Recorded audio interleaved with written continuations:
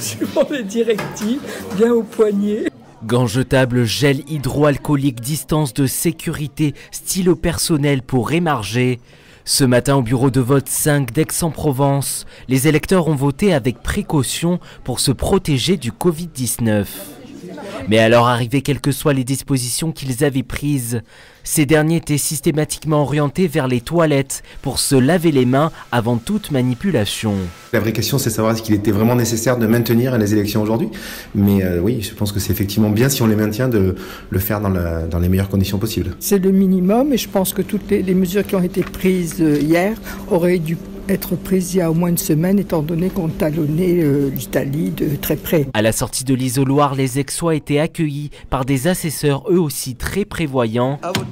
Équipés de gants latex, ces derniers avaient tout prévu pour garantir la sécurité de tous. Il nous a été demandé d'appliquer certaines mesures. Premièrement, bien nettoyer tous les isoloirs, euh, toutes les demi-heures avec euh, des produits désinfectants qui nous ont été donnés, des lingettes désinfectantes qui nous ont été données, nettoyer les tables, les plaquettes des isoloirs. Il nous a été donné un nombre euh, conséquent de stylos pour pouvoir faire signer, tout en sachant que les gens peuvent apporter leur propre stylo. En amont, il nous a été demandé aussi de faire laver les mains pour rentrer, et s'ils veulent passer en sortant aussi. Voilà. Et après, euh, respecter des distances de sécurité. Donc, comme vous avez pu voir, on accueille les gens.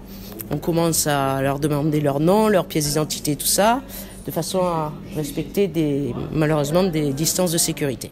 À Marseille, le dispositif sanitaire était plus léger. Derrière la mairie, dans le bureau de vote 204, pas de gants en latex sur les mains des assesseurs, mais une distance de sécurité garantie à 1 mètre. Dehors, un vigile autorise l'entrée de 5 personnes maximum à la fois. Mais ici, le lavage des mains au gel hydroalcoolique n'est pas imposé aux votants. On a fait surtout preuve de bon sens pour essayer de faire au mieux. Et les gens ont été quand même très disciplinés. La plupart arrivent euh, et vont directement euh, prendre les bulletins, les enveloppes, vont dans l'isoloir. Bon, il y, a le problème peut-être des rideaux d'isoloir qui, qui sont censés ne pas toucher, mais en fait, euh, on n'a pas trop d'autres moyens pour euh, la confidentialité, de les laisser euh, passer dans l'isoloir en touchant le rideau.